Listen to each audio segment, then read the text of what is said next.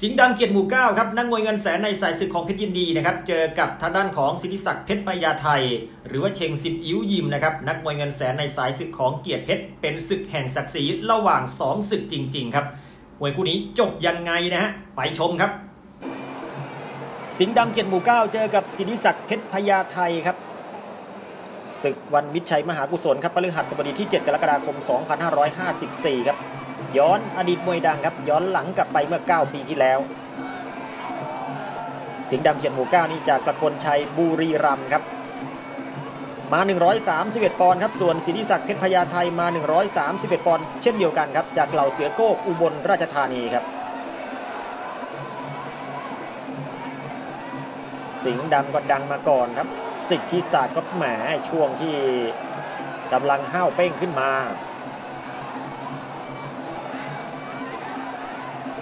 ต่างศึกต่างสายด้วยนะครับสิทธิศักดิ์ในสายศึกของเกียรติเพชรสิงห์ดำในสายศึกของเพชรยินดีครับ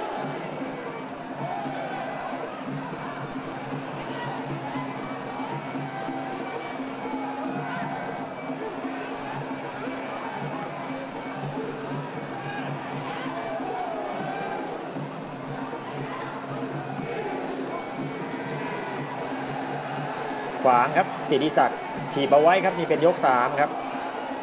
สิงห์ดำนี่เป็นยอดมวยปี 2545 นะครับยืนระยะมาอย่างยาวนานมากครับ เป็นนักมวยตัวอย่างอีกคนนึงเลยครับ ปัจจุบันเนี่ยปี 63 นี่ก็ยังชกมวยอยู่นะครับ แต่ว่าเป็นการชกในรูปแบบโกอินเตอร์ครับ อายุก็ 34-35 ไปแล้วครับ ชก 3 ยกกับต่างชาติซะเป็นส่วนใหญ่ สิงห์ดำมีปินยอดมวยปี 45 ปี 46 ก็เป็นอนุวัตแก้วสำลิดครับ 46 47 ต่อเนื่อง 2 ปีติดเลยครับอนุวัตแก้วสำลิด48 นี่เป็นน้องโอสิทอครับ แล้วก็ 49 เป็นจอมทอง 50 เป็นวุฒิเดช 51 เป็นแสนชัย 52 เป็นลุ่งเรืองเล็ก 53 ก้องศักดิ์ 54 เป็นเอก 55 แสงมณี แล้วก็ยอดวิชา นี่คือทำเนียบยอดมวยของสมาคมผู้สื่อข่าวกีฬาแห่งประเทศไทยครับ เกี่ยวแล้วคืนขวาครับสิงห์ดำครับ น่าจะแทงเข่าซ้ายครับสิทธิศักดิ์ชิงจังหวะกันออกครับ โอ้หมดยกครับ พร้อมกับเข่าขวาของสิงห์ดำเอาละครับยกที่ 4 ครับแทงขวาครับ เข้ามาคืนเข่าครับแหมอาชีพหลักเดิมเลยนะครับ สิงห์ดำนี่ขุนเข่าแดนคำแมครับ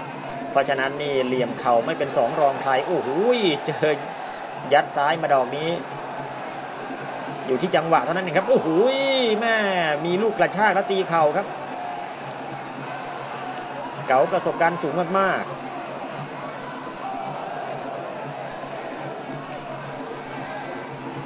ตีเข่าซ้ายครับโอ้โหคิดดูแล้วกันครับแฟนมวยครับ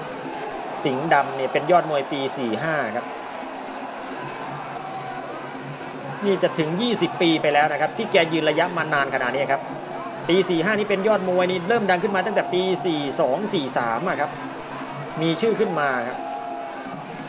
ก็ 20 ปีแล้วนะครับ บนสังเวียนเลือดครับ โอ้โห ดูแลตัวเองมาอย่างดีเลยครับตีเข่าขวาครับสิงห์ดำครับ เข่าซ้าย แล้วหยิบเงินแสนมาเกือบ 20 ปีครับเอาเตะขวาครับสิงห์ดำครับ ขวาราคาไว้ครับ พยายามแทงเข่าพลักออกเตะขวาครับ ดูครับโอ้โหต้องปะทะเร็วครับศิริศาครับเอาตีเข่าขวาครับสิงห์ดำก็โต้ครับเนี่ยครับไล่แขนเอาไว้ครับ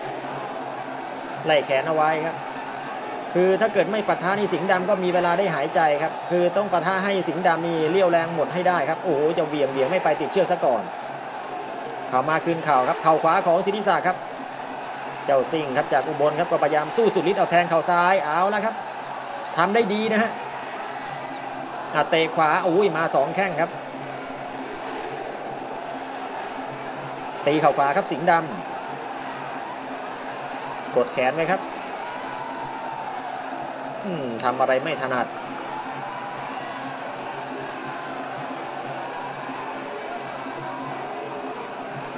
เดินเข้าหาครับตะขวาครับ เกี่ยวแล้วแหม่ขวาหลุดครับ แข้งขวา เตะไม่เข้าครับสิทธิศักดิ์แหม่วงนอกนี่แข้งขวาแกเตะเถื่อนเทิงเหลือเกินครับ สิงห์ดำครับเนี่ยครับแข้งขวาครับไปสองแข้งจิ้มหมัดมาครับเก็บอาวุธได้ทั้งซ้ายทั้งขวา